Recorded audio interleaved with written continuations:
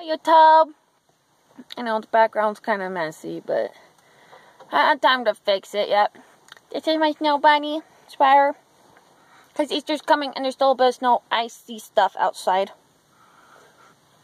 Yeah, so we're home because of everything. Yeah, even me. Um, so I had like a cyst, apparently like a little cyst sac in my back. And finally like abscess, which means it got super infected.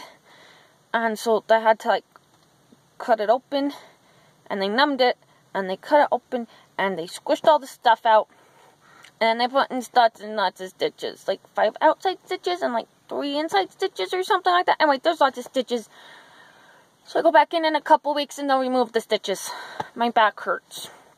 That hurt for like a few days before I got into the doctor too and they're pretty full so it's just walk in and we'll fit you in between appointments which they did and it took like a whole hour to do this and yeah wasn't that much fun. But anyway, it's also that time month on top of my back hurting, but my back is feeling better now. I'm sorry if I'm talking a little bit fast this morning. I'm kind of still a little tired and I'm, I'm hungry because this is morning. I just got dressed. Want to see me dressed? You have to go check out Patreon. Yeah, because that's the income right now. And I'm like hoping to keep all my Patreons because it's an awesome thing over there. But I also know there's like little income to be coming in right now. My problem. So, yeah. Anyway.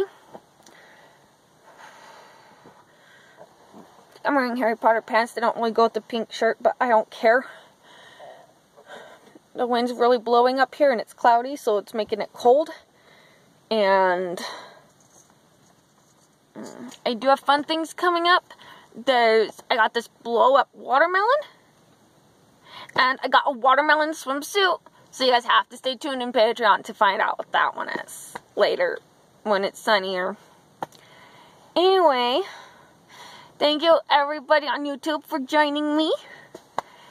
And I will see you guys later. That's the update. Um, I'm going to try to get more of these out soon. Since there's really not much else to be doing except cleaning my house. And of course, normal stuff like dishes and laundry and... Yeah, we kind of let everything pile up a little bit while we were working. But, yeah, so we're going to try to do like a full house clean this week and then see what happens after that.